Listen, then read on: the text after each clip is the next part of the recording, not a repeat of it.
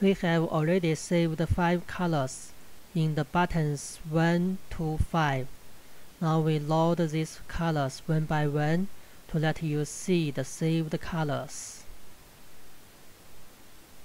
So press the combination button, load and 1, load and 2, load and 3, load and 4, load and 5,